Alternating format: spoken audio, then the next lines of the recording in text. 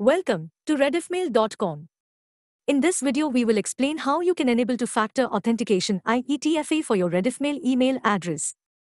Two-factor authentication gives your mailbox an additional layer of security. Where along with the password, OTP validation will become mandatory. Let's get started. Log into your account.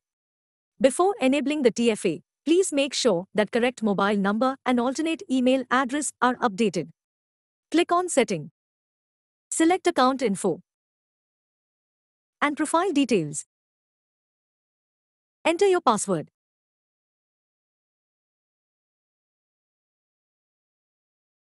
Here as you see the mobile number and alternate email address are already set. If these details are proper then you can keep it as is but if the details are not proper then kindly click on edit button below to change the same. Modify the records and update the same.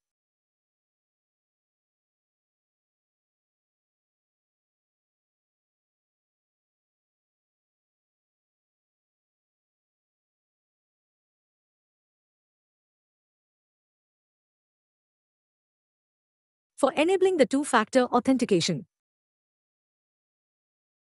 Again click on Settings and Account Info. Now, click on Two-Factor Authentication. Two-factor authentication gives you an additional layer of security where along with the password, OTP validation will become mandatory to access your Rediffmail account. To enable this, kindly click on the slide button.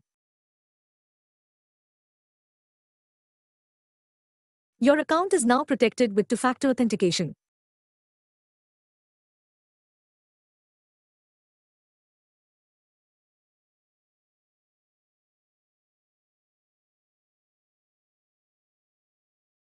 Let's log into the account and verify the same.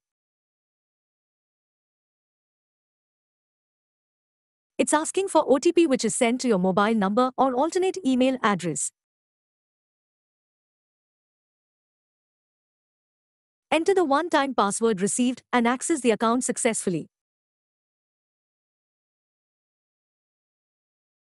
Thank you.